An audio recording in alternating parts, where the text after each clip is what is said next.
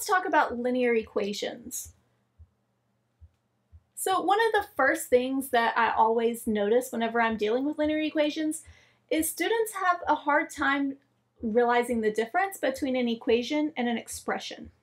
So the main difference between these two is an equation has an equal sign and an expression doesn't. So whenever I'm dealing with equations, I should expect equal signs in the problems. And I want to find a number that makes both sides of this equation, both the left and the right hand of the equal sign, true. And these are called solutions. So let's look at solutions for a little bit. Let's consider this equation 5x minus 3 equal to 2x plus 6. And my first question is, is x equal to 3 a solution? Well, in order to figure that out, we need to actually change all of the x's to 3's. So instead of 5x minus 3, I have 5 times 3 minus 3. Instead of 2x plus 6, I have 2 times 3 plus 6. And now we can start simplifying.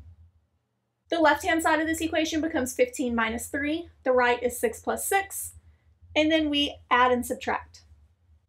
And we get 12 equal to 12, which tells us yes, x equal to 3 is a solution since we know that 12 is equal to 12. Let's look at another one. So we have the same equation, but this time I want to know if x equal to negative 2 is a solution. So I'm going to change the x's to negative 2. So I have 5 times negative 2 minus 3 on the left, and on the right, 2 times negative 2 plus 6. As I start simplifying, I get negative 2 minus 3 on the left and negative 4 plus 6 on the right, which then gives me negative 13 plus 2, which is not true. Negative 13 is not equal to 2, so in this case, no, x equal to negative 2 is not a solution. So now that we've looked at how solutions work, and we know how to determine if a number is a solution, but the question is how do we just find the solution? We don't want to check every single number until we get something that works. And for now, we're going to be concerned with linear equations. Linear equations are anything that can be written in the form ax plus b equal to 0. A and B are going to be any real numbers, and A just can't be equal to zero. So most of the time, linear equations are not going to look exactly like this, but the key is they could be in this form. So let's look at some examples of things that are linear as well as some things that are not linear. Here's the first thing that we have that is linear, 4x equal to 2 thirds x plus 1. So this is an example of a linear equation x plus 7 equal to x over 4. That's another example of a linear equation. 3x plus 7 equal to negative 2 is another example of a linear. So now let's look at things that are not linear. x squared plus 7x equal to 2 is not linear, in particular because of that x squared term. The x squared term makes it no longer linear. Another example, square root of x plus 5x equal to 12. The square root of x makes this not linear. We can't have a square root of x. Finally, 2 over x minus 3x equal to 4. We can't have x on the bottom of a fraction. As we can see from my second linear example, you can have x on the top, but just not on the bottom. So let's look at how to solve these. When solving linear equations, there are really two main rules. The first rule is that we can add or subtract the same number from both sides of the equation. So we can add the same number to the both sides of the equal sign or subtract the same number from both sides.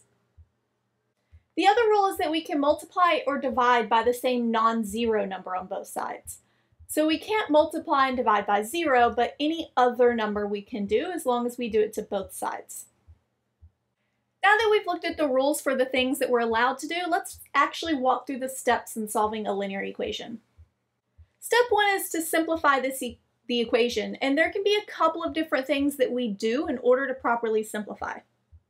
One of the things we can do is to clear parentheses. If we have parentheses on either side of the equation, we can use our properties to actually get rid of those parentheses. We can combine like terms on the same side of the equation. So if I have things on the same side of the equation that can be combined, we can go ahead and combine those. As an example, if I have 2 minus x plus 3, I can go ahead and add the 2 and the 3. Another way to simplify is to multiply both sides by the least common denominator to clear any fractions. So if you have fractions, this can be a good way to get rid of them. So you can do any of these that are relevant to the problem, or it may be that the equation is already simplified and we can skip this first step and move to the second one.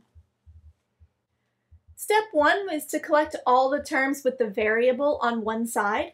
So if you have an x on both the left and the right side of the equation, you try to get both of them on one side by adding or subtracting. So we want to get all of the terms with the variable together on one side of the equation. We then collect all the constant terms on the other side. Anything without the variable gets moved to the other side and we combine all of those. Finally, we divide by the coefficient of the variable. So whichever number is actually in front of the variable, we divide through by that.